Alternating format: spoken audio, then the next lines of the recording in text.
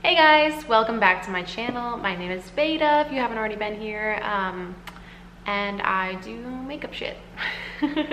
I need to work on like an actual introduction. I like have no idea what I'm doing here, but welcome. Uh, so I met, I actually have already filmed this video, but I hated it and I got a new camera since then, so I'm gonna go ahead and redo it. I wanted to do a first impressions of the Melt Gemini palette, this little bad boy. However, um, since I, I, I, did film that video, but I didn't even bother editing it because I hated it so much. Uh, so I, I have since gotten a new camera, so I am just gonna do like a real review of it since I've gotten a chance to play with it for the last couple months. Um, I don't, I think I made one video in the entire month of October, which is quite sad. um, but there was just like so much stuff going on in my life and I was like busy every weekend and I, I work a 40 hour a week job. So I just did not have a chance to actually like edit anything or do anything over the month of October. I did do a bunch of uh, makeup looks on Instagram. Um, I'll insert a picture of that.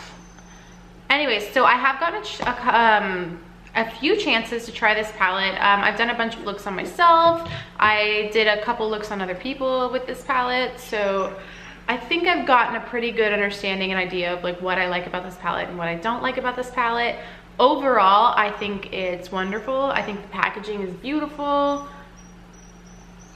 So yeah, if I were to create a palette, I would do it very similarly, similarly, similarly. I do it very similarly to how Melt Cosmetics did this palette. It's very thin, it's very lightweight, it's easy to carry. Um, however, I do have some problems with how they pressed a couple of the pigments. Um, so while all of the shades are wonderfully beautiful, like they're so pretty and I love this color, this color story so much. Um, I do have some issues with both of the shimmer colors in here so Gemini and Goals I have a problem with. So I have never had an eyeshadow, an eyeshadow palette like break on me before. Even I've even dropped palettes. I've um, the only things that I've ever like really truly shattered on me have been my Becca Cosmetics highlighters, like this one. I had to like completely repress it. Um, and I, I think I had like a Marc Jacobs uh, contour palette that also shattered, but this Gemini palette, both of the um, both of the shimmer shadows have basically shattered on me. Um, the Gemini color, this pretty peachy one, that one completely busted and I had to repress it with alcohol and um, and I didn't even drop this palette. So it was just from like being in my travel makeup bag and kind of, and it, it wasn't even, it was like tight in there too. So it wasn't like it was bouncing around. Um, I just think that the, the two shimmer shadows were just so lightly pressed in here that it, you know, caused a problem with um, traveling. And you can kind of, if like you kind of wiggle it, you can kind of hear the, the, um, the pans kind of shaking around a little bit. So if you don't know how to repress eyeshadows, you might have a problem with this palette, especially if you decide to take it traveling with you. Um, other than that, other than that, and I, I guess I just won't travel with this, but uh, having it at home, it's, um, it's a beautiful palette and I really enjoy using it. I really love the color story. And I do know how to repress shadows. It's, it's a fucking annoying, but it's not like impossible, you know what I mean? Like it's not like a complete deal breaker for me. I just was kind of like disappointed that that was an issue that I ran into with this palette considering I have so many other makeup palettes that I've never run into that problem with, you know? Um, the rest of the shadows, they seem to be pressed in there nice and tightly. I don't have any issues with those starting to fall out. Um, I think I might have a problem with the Bonnie shadow, which is the, the black shade in here. That one looks a little loose, so I'm not sure if it's it's the packaging or if it's how they pressed the pigments. Um, but they are, it just seems like a fragile palette. Like I don't think that I could travel with it. So without any further ado, I might as well get into the makeup look I'm going to create for you today. Um, I already have my base done. So I have my foundation, concealer, bronzer, blush, highlights, brows, and lipstick already done. the lipstick that I used is the CoverGirl Exhibition. I'm still getting used to doing this. I don't know if that's gonna actually. So this is the lipstick that I used. It's the CoverGirl Exhibitionist lipstick in the shade Trending. Yeah, so it's in the shade Trending. Uh, and I really like it. Um, this is probably my favorite uh, drugstore lipstick. Not necessarily just the shade. The shade is beautiful, but this is the first time I'm trying this shade. So, but the um, the entire exhibitionist line from CoverGirl I really love. So if you're looking for a cheap drugstore fucking lipstick, that I think these are a great one to pick up. All right, without any further ado, I'm gonna go in. I'm gonna start doing my eyeshadow look. I'll zoom you in. I have a new camera now, so I can actually zoom y'all. Anyways, so I have already primed my lids with, uh, I use concealer, so I just use the, the Tarte Shape Tape concealer all over my lid and then I set it with powder. Okay, so first I'm going to take the shade Luna with a big fluffy brush. Luna is the light shade at the very end right there. So I'm gonna take that shade and I'm gonna take a giant fluffy brush. I don't know what this is, but it's from Morphe and it's their big ass fluffy brush. Okay, and I'm just gonna sweep that all over the lid. In big windshield wiper motions. I accidentally just dipped into Lorelei, my bad. and again, just gonna dust Luna all over my eyes. I like laying down just a big old base of color all over my lids. I think it helps with blending later down the line. And I am glad that there's a, a, shade light enough for me that I can actually do that. This I do think the shade is a little bit too dark for me, but it works. You know, it does the job. Um, okay, so from there, I don't really know what I'm going to do, but I kind of wanted to do like a smoky, like grungy look. So we'll see what I come up with there. Okay, all right, from there I'm gonna take up a little fluffy brush, another blending brush, smaller than the first one, and I'm gonna pick up the shade Lorelei, which is this mustardy shadow. I think this is my favorite shade in the entire palette. And I'm gonna use this as a transition shade all the way through my lid, or my crease, I should say. So I'm just gonna sweep that through my crease. It doesn't really have to be neat. This is just to start the whole look, you feel me? I'm just gonna do the same on the other side. I think I'm gonna go ahead and just do one eye and then y'all, then I'll do the other eye off camera. I'll do what Samantha Ravndahl does.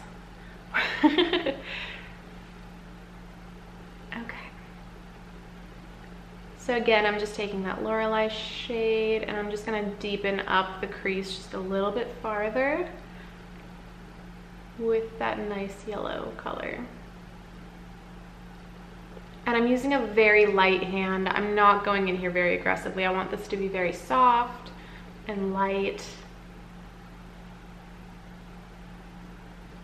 All right, from there, I'm gonna take a smaller little pencil brush and I'm gonna take the shade Polka Dot right here. Now I do have a problem with these two shades. Like I've noticed every single time that I've used those two shades, I end up having like some blending issues. Like it, it's kind of patchy and I can't blend it out as well. We'll see how it goes today, but overall, I think these two shadows are not my favorite. And I wish there was a darker brown in here too. Like, but I can deepen it up with the black, so not a big deal. I'm just gonna dip into that shade Polka Dot, which is the first one, the first brown color. I'm still getting used to this whole YouTube thing, so don't judge me too hard. And I'm just gonna take that on my outer corner in kind of a V shape.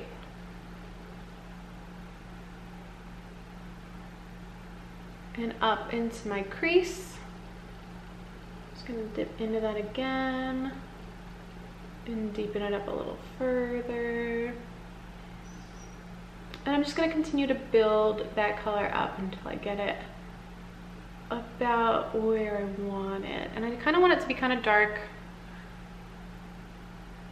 I'm gonna bring that in to about the outer third of my eye. I'm just gonna sweep it back and forth in my crease. And then I'm gonna take that, that fluffier brush that we used with the Lorelei shade and I'm just going to blend that out. You see, it doesn't blend out very well, in my opinion. Like, I feel like you really have to work for this shade to blend out. You see, you can kind of see how it's a little, like it really stuck to where I placed it down. um, from there, I'm just gonna dip in between the Lorelei shade and the polka dot shade. And I'm gonna go back and forth between those, wow, between these two. I don't know if you saw any of that, but fuck it. And I'm using a very light hand and using windshield wiper motions.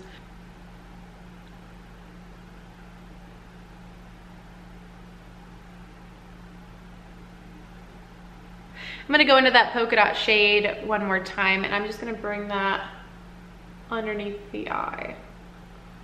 And I'm only gonna go about halfway with this shade. I don't wanna be, I don't want it to be too dark on the inner corner. I always like to leave this area very light.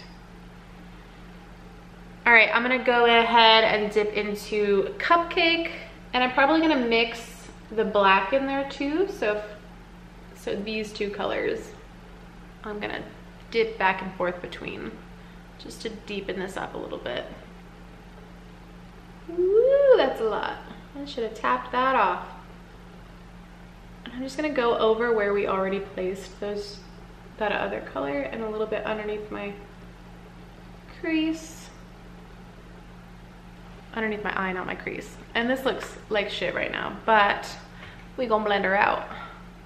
Gonna pick up that blending brush again and I'm just gonna lightly sweep over this back and forth in tiny little motions.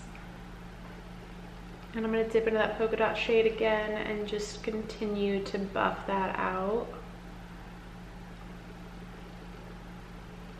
I'm gonna go and bring that underneath my eye again and just buff that all out. I want it to be nice and soft. I think I wanna go and play with some of the greens. So I'm gonna dip into mochi. Is that how you pronounce it? I'm not sure how to pronounce that one, but I think it's mochi. It's the one on the very end. Um, just dip it into that, tapping off the excess. Oh my God. So while, okay, I'm gonna zoom you all out. Guys, I I'm pissed. So I just was tapping the excess off my brush. Like I dipped into this color and I just went like this a couple times on the outside of the palette very lightly. And the entire shade Goals fell out of my palette. It fucking fell out of my palette. Do you see that? like while I was filming. I'm pissed. I spent like almost $60 on this palette and it's literally falling apart and I've had it for maybe a month. Like, I'm upset. I'm, I'm so infuriated. Like, I guess I could just fucking glue this back in, but that is infuriating. If you're spending 60 fucking dollars on a makeup palette, like I would want it to stay apart for like to stay together for longer than a fucking month, you know what I mean? And I've already fucking had to, I have already had to repress that Gemini palette, that Gemini color because it like shattered on me and I didn't even drop it. Like you can see all the way around the fucking palette that I had to like repress it. I had to put alcohol in it and like press it back down because it was literally shattered and now this whole fucking color comes out. Oh, thanks Melt Cosme. I'm so upset. Dude, I was, okay, so I was so excited to receive this palette in the mail because Raw Beauty Kristi was like raving about it, right? Like, my dog keeps whining. So I bought it basically because Raw Beauty Kristi was just like absolutely raving about it and the makeup looks that she was doing were just so beautiful and I was so excited about it. And when I saw that it came on stock, like I immediately went to their website and I purchased it with my own fucking money and I was so excited. And now that it's just like literally falling apart. Like, watch. Why? Why would they do that to me? I know that there's like so many more bigger issues out there, but if I'm gonna like recommend a palette to you guys and you guys like spend your hard-earned money and like the palette falls apart within literally a month of you receiving it, like that's just so fucking not worth it. So I'm gonna go ahead and like finish up the makeup look that I was doing but I'm gonna start, I'm gonna end this right now and say that I don't recommend you picking, picking this up just based on my own experience. I think the colors are beautiful. I do have a couple issues with a couple of the pigments, but I just, I can't deal with the fact that this is literally falling apart within the first month of me owning it. And I have not used it that many times. Like, I was really excited to do this review too. Like I have been, this is the first Melt Cosmetics product that I have purchased and I remember back when I first started watching YouTube and wanting to like start an actual channel Melt Cosmetics lipsticks and eyeshadows were like everything to me. Like that's all I wanted to spend my money on and I and I never had money to buy it. And now that I finally fucking have money to buy something from Melt Cosmetics it falls apart within the first month.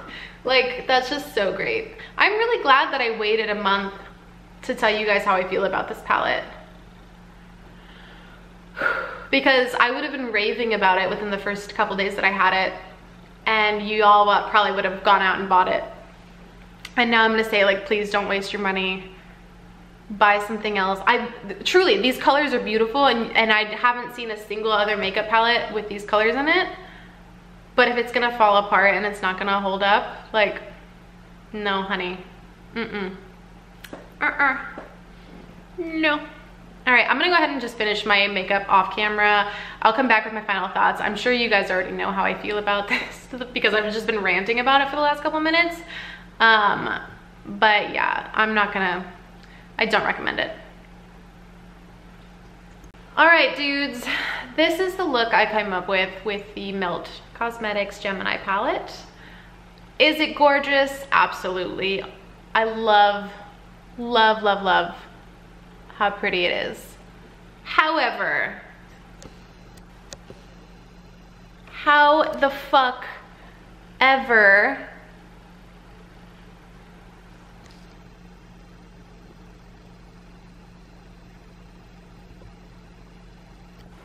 my final thoughts are you should not buy this palette. and it breaks my heart to have to say that, but don't buy it. Um, I mean, buy it if you want it. Obviously, if you're fine with like it falling apart on you, that's totally cool. However, just the fact that this is my life now is just not, I'm not okay with that. I'm not okay with the palette falling apart within the first month of me getting it. Are the colors beautiful? Absolutely. Is it fucking unique as hell? Absolutely. Is the packaging beautiful?